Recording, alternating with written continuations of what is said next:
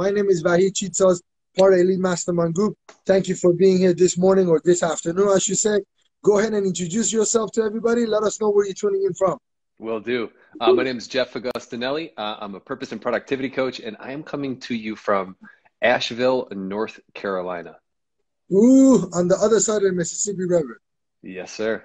That's it. I don't even want to know how much you guys pay for gas. Like, don't even tell. me. Like, it's it's messed up, man. I wouldn't be able so to tell you because I haven't put fuel in my car in weeks. so it's I would be guessing, and it would be a horrible guess, I'm sure. I got a friend of mine who was in Kentucky, who lives in Kentucky now. Used to live in LA with us over here. Over here was like two ninety. Yesterday I put like three dollars. I he sent me a picture of like 67, 69 cent that he I was like, it should be illegal for you guys to put the gas at that price. Like it's ridiculous. That's amazing. I, I, almost want to drive there just to fill up. Yeah, that doesn't make sense. But it made sense for a second. Yeah, so it's prices are different. So here's here's the question that I have for you. Mm-hmm. How do we create abundance? How do we attract abundance? What are some of the key elements that you think entrepreneurs should be implementing in their business and in day-to-day life to be able to attract that? Yeah, that's really important question. Thank you. Um, I, I like to say trade out your routines for your rhythms, right? So it's like a lot of times we get really instilled with the like doing this monotonous routine constantly. It works sometimes, but for a lot of people, they get stuck in the in the in the rut of a routine instead of understanding how their personal rhythm works, right? Especially entrepreneurs. It's like we're all unique in our own ways on how we engineer productivity, on how we engineer the way that we work and the way that we best connect. So I find that the, the best way to do this is really to understand that like you don't have to do it somebody else's way. In fact, most people are operating by a values structure that is not their own. So when we can trade out like what we think we should be doing for what we actually get to be doing based on what we value, based on our individual values, our company culture and those things, we can really start to dance to the beat of our own drum, right? And we can really see that in order to create abundance, it's not just a, a linear or one dimensional conversation, right? So it's yes, it's in business, and yes, it's in providing a service or delivering a product to a particular person it, it, that solves a particular problem. Like we get that, right? And I think so many times entrepreneurs forget the fact that nothing is isolated, right? Like if you're experiencing problems in your relationship, problems in your family, problems in your personal life, it is literally almost impossible to set that aside to the degree that you need to in order to really allocate the amount of energy required to drive your business because your bandwidth is tied up in other areas. So really understanding like how you operate and what fuels you based on your values is extremely important. One of the major ways I learned this, I have a 10 year old daughter and I'm also, also an ultra marathoner. So like I run ultra marathon distance, which is like 31 miles plus. So people would look at my lifestyle and be like, dude, you're a single dad. You're, you, you know, you're super present with your daughter and you run like 40 to 100 miles a week, which is insane by most people's standards as far as time goes. But like those things allow me to do what I do in my business. They don't, they don't subtract or detract or take away they add to and really complement and allow me to be uber present with my audience because I'm fulfilled, right? Like I'm meeting my own needs. And if I'm meeting my own needs, then I can help meet my customers' needs and help them meet their own needs as well. We need to do a different video on how you do the the babysitting with your daughter because my daughter is only 15 months old and she's a total dictator. So I would definitely there, there needs to be another session for you to train all the dads because this little girl, I'm telling you, she's got more power in one of her little fingers. She just points at things, and there's like avalanche of like eight, nine people that are on top of it to just provide. And the other day, I was thinking, I was like, this little girl has more power in the household than I do, mm-hmm. and that's scary. Mm-hmm. She's like a little dictator. So these, so we definitely need to do a training on that. For sure. how you do it. So now what is your definition or, or, or understanding or can you give us a little bit more detail what's the difference between abundance and overconsumption well i mean when i for me personally when i hear the word abundance i feel it is a constant adding to, right? Like if I am abundant in love, if I am abundant in energy, it's a, it's an increasing and ever expanding, right? There is an abundance, there's a plenty, right? It's not a definitive, it's infinity, right? It is an ever expanding and ever continuing. Um, and remind me what the second part was overconsumption. Like I think a lot yeah. of people they're like, oh, I'm I'm living. If I had a bigger house, that's abundance. Yeah. Like I'm trying to find out what the differentiation between overconsumption and yeah. being. So consumption in general, right? Like, I I typically relate it like this. I draw this analogy, right? I used to be a live-in private chef for about six years, and so i have a very you know intimate relationship with food. And when people are consuming massive amounts of content reading tons of books i'm all for all of that. Like i am a, a voracious reader and a very hungry learner. And i also realize there gets to be a balance between consumption and utilization right? If we're just acquiring and just consuming that is not abundance. That is false security so if there's, we really get to examine our belief system around what the meaning is that we attach to things. If I need a house in order to feel, if I need an extravagant house in order to feel important or significant or X, Y, and Z, especially for men, right? It's like if I've got to compare you know what's, there's probably something wrong in that equation, right? If I need the Ferrari or if I need even like this car so I'm keeping up with the Joneses. That's not abundance. That's actually scarcity in disguise, right? That's insecurity. That is, I need this so that. It's conditional thinking. Abundance for me personally, um, I'm definitely not like a religious person, um, but highly spiritual. I like to say, like for me, I use the G word just because it's a, a, vernacular that most people can connect with. It's like abundance is a God given right, right? It is one of those things that we limit what we express, right? Like the expression of divinity is abundance. Look outside, right? Even if you look at like Chernobyl for for for example, right? Like the once that the radiation was quote unquote cleaned up over time, like it flourished, right? Like wildlife was thriving there, like um, uh, plant life, like the, the flora and fauna there took off. Why? Because humans aren't there, right? It's like, so it's it's funny because we really put the governor on that on expression on whatever it is, and I really believe like I'm not big on digging into people's pasts in order to understand the present, just enough to glean insight, right? So it's like we're conditioned to be a particular way. So a lot of our BS, our belief systems, come from and the other form of BS come from how we are raised and really like i had said previously like how we're conditioned to want what other people want and to place importance and to place value right? To have our values misplaced or misdirected. So it's like we're trying to fill this void that ain't even ours man. Like it's really sad on some level too because it's like people don't realize that they're in this rat race and in this cycle of overconsumption but it's like the uh, you know in Italian we say it's agita, right? Like it's indigestion, and it's like you're eating and eating and eating and eating and eating, and you can only eat so much before you get sick, right? Until you start to get bloated and sick and really like not well.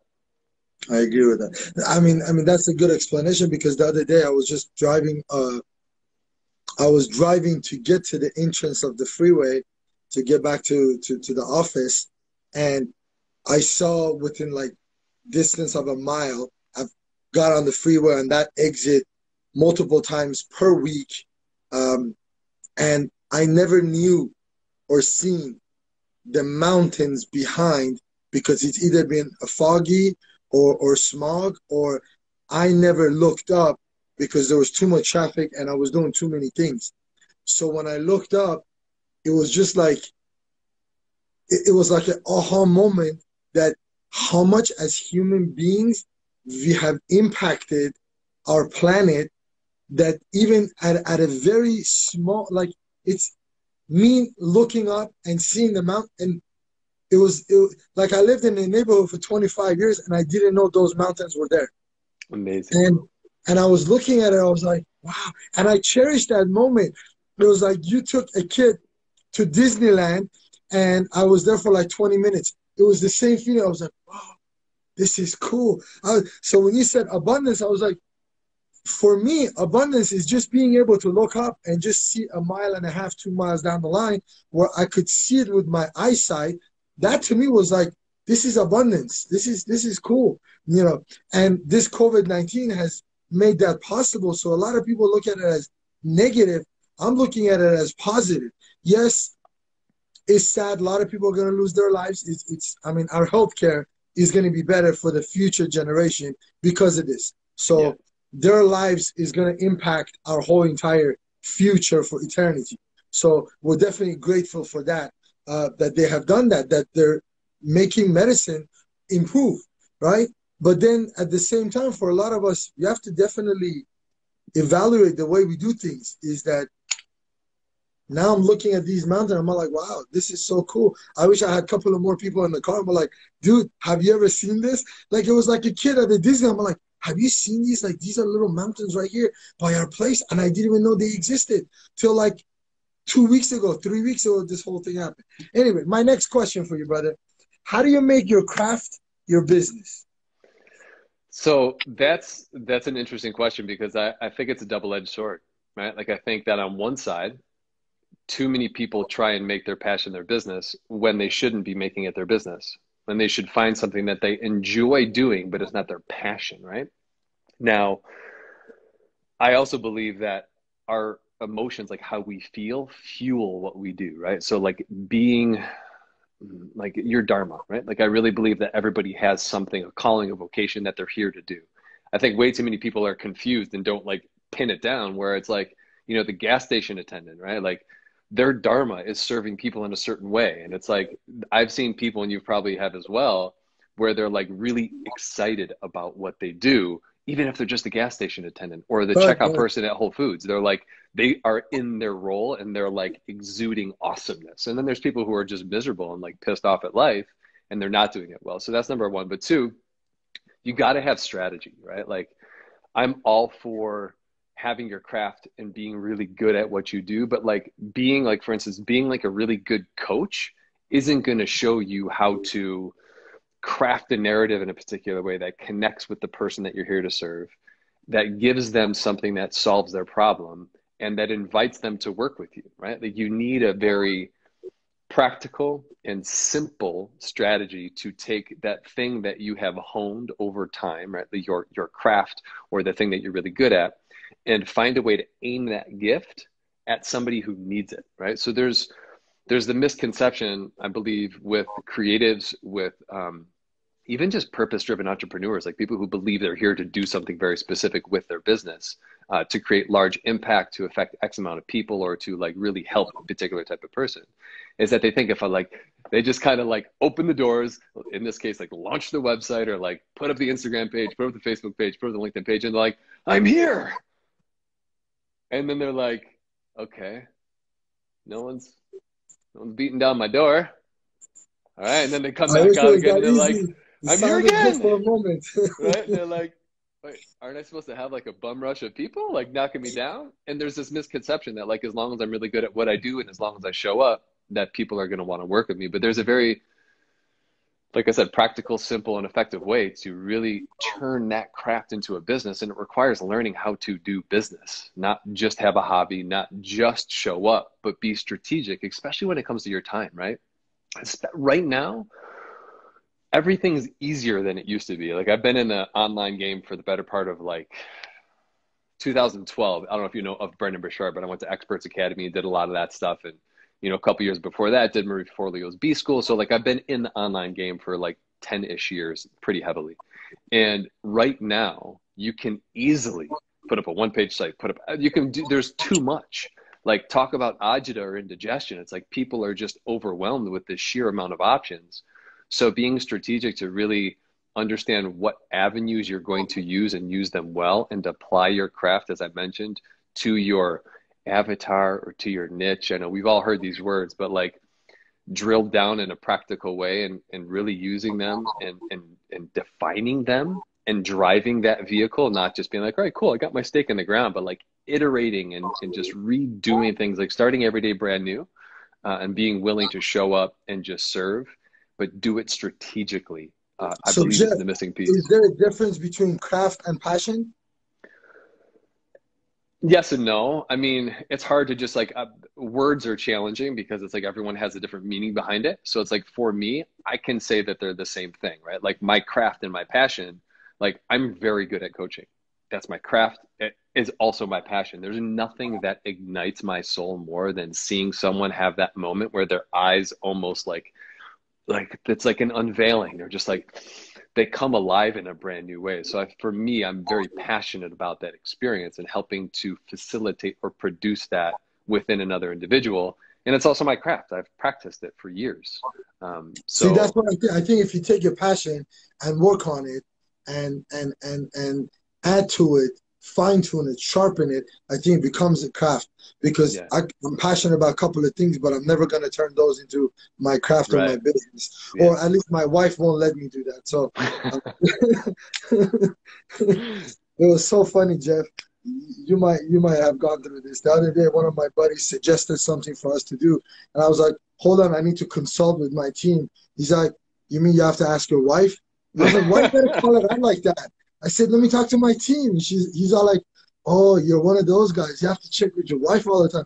I was like, let me just talk, talk to my team. I'll get back to you. So yeah. Anyway, it is what it is. But you want to know something? When I want to buy her, or or at least I get most of the time I don't get the feedback that I like, but it's the feedback that's necessary. Mm-hmm. And and you have to hear that sometimes. So I, I love it when people get on your case for your business and all that stuff. So if you are passionate and you have your craft, you might want to go to other people and get feedback. You might want to do it in private, but be able to get the feedback so you could adjust. Now, talk about emotion and fitness. So I like to use those words together, quite frankly, like emotional fitness, or like some people call it emotional intelligence. Um, you know, like that, that that vernacular, so to speak, for me is a little bit dry. Like emotional intelligence. That's why I like emotional fitness because I believe it's it's something that gets to be exercised, right? Like we have a certain level of, like you just mentioned, being able to receive advice and like knowing that you need to hear it and acting on that instead of like being like, oh, you know, like what the heck? Like I really want to do this and like launching into reaction. The ability to, as an entrepreneur, I believe like the ability to be able to self regulate, I guess, which is a psychological term of like to be able to self regulate your emotions, to understand what you're feeling when you feel it can really fuel your business in, a, in an amazing way. And I've seen this time and time again where I'll be working with people and they'll either like clear a hang up they've had or maybe they're having a challenge with their staff or like they're holding on to some kind of resentment or harboring like something that they haven't communicated. And we kind of brush it under the carpet. We're like, well, how can like that little scuffle with, you know, um, the co-founder, like how could that really, you know, affect anything? That's not going to, you know, it's not going to cause any harm. But as soon as that conflict is resolved, it literally just like lifts it, not only lifts a huge weight internally for that individual, but it has a cascade of events that happen in the business every single time without fail. And I really believe that like our ability to be able to, because stress happens, right? It's not like uh, you're an entrepreneur. It's like you know that like every day shit hits the fan, right? Just today, Instagram yeah. is having issues. Like it's yeah. on like hourly basis. It's not even daily, brother Jeff. It's on yeah. hourly basis. I'm putting yeah. out fires. so, some like the refractory period, another term is like the it, like from the infraction, like the moment something happens to when we recover from it. The shorter we can make that, the better. So when I use the term emotional fitness, I'm referring to like how quick can we recover and adjust from something, right? Does something happen and we're like, you know, finding people to blame and like cursing this out and like swearing over here. Sure, some f bombs may happen and at the end of the day it's like how quickly can you move into resolution and action? Because i also have seen like the successful entrepreneurs that i've worked with personally they're most of them aren't even phased by it right? It's like something big happens and they're just like hmm, that's interesting. You know it could be tens thousands of millions of dollars and they're just like huh wonder how we're going to figure this one out. Instead of like oh my god like what's going to happen with this like like and then right? It's like that stress like blood pressure rises. There's literally like physiological effects of that. Uh, and we, when we're in a stress response, we don't have the resourcefulness that we do when we're in a like a parasympathetic, relaxed response in the body. And it's it's one of those things that if you can really figure out how to, and this goes directly back to the initial question about understanding your personal rhythms. it's like, you know, when you're powering down at whatever time of day you do to get your time to like really replenish and recharge, you don't want to have your notifications on, right? Because if something comes in and it's like some huge catastrophic thing that you could flip out about, if you're taxed from the day, the likelihood that you're going to react instead of respond in a good way is extremely high, right? So it's like understanding your emotional resources and how to respond effectively instead of get really just like hooked or roped into whatever could possibly happen could literally make or break your business. I agree with that. I think I read that in a book. I think it was Three Feet from Gold. Mm. That don't make decisions in the valleys of life.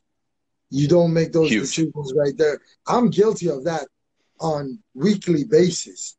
But at least I have read that somewhere and I'm trying to be conscious about it. I think yeah. it's that movement towards getting it as good as you can, as best as you can. I'm conscious about it. I when I make those decisions, I'm like, okay, I shouldn't have done that. Like I know that. I kind of get on my own case. I'm like, I shouldn't have done that. Should have done this, or I should have hold off on that. So definitely that. So you know, you got to watch out for the peaks and the and the valleys. So you gotta, just on that note, though, too, it's you know we very most of us, I'd say everybody I've worked with, and myself included, have a very predictable pattern of response emotionally to stress. And if we can understand what that pattern looks like, for me, I'm 100% Italian, right? Agostinelli, my mother's maiden name is Antonucci. I come from a very fiery background, right? So I know for me, I launch like I, I like literally my body's like engulfed in flames, but it's not. Like it just seems like I like ignite like this, and I know that I cannot respond in that moment. I can't. I have to literally just like walk away, breathe. I have a few practices that really help, and I know that I get to go. I'm useless right now, or whatever the words I use are and I'll respond to that in X amount of time. Or I tell you what, let me get back to you on that tomorrow. Like right now, I've got a ton going on, and I've got to get back to you in X amount of time because like I know I've made some really shitty decisions in those states, and having those learnings have allowed me to understand like when to respond and when to wait. That's the, I mean. That's when the level of awareness just goes up, and that's by practice. The only way I'm gonna learn it is just like going through it, learning it, talking to other people and and as a matter of fact right before our call i was talking to one of my friends and that was the the conversation we had on how sometimes we just gotta not respond to stupid people let them just be because even if you call them out even if you tell them they're stupid or this decision was bad or we discussed it you're breaking your your your your your your your, your promises your verbal contract you, you completely abolish everything that you promised to do but then that's not my, any of my business. I got to go continue to do what, what I got to do. So to me, it's like, but you sometimes need that reminder, which comes to my last question. How important is it to have a coach and a mentor? Um, how important? How, how important is air? I it. mean, literally, it's like I, I look back at all the pivotal moments of my life and like i honestly have no idea how i would have gotten through the three or four things that i'm really like seeing in my mind's eye right now. Like i would have i would have talk about launching into reaction. Like there's no way i would have gotten through that if i didn't have somebody who could effectively help me like understand and move through certain things. It's just huge i mean even right now it's like i'm i've been a coach for years. I still have coaches i work with. It's something that like if you want to go to the next level it's really in my personal opinion obviously that's why i do it is that if you want to get to the next level it's like the quickest shortcut. I'm not saying that you'll never get there but the quickest shortcut is to be around somebody who's already been there and like literally skip all of the crap that you would encounter all of the quote unquote learnings or failures that you would encounter and have someone to give you direct feedback because if the the amount it's like having a coach in athletics right? It's like you have someone that could point out like uh, a running coach a buddy of mine is a running coach right?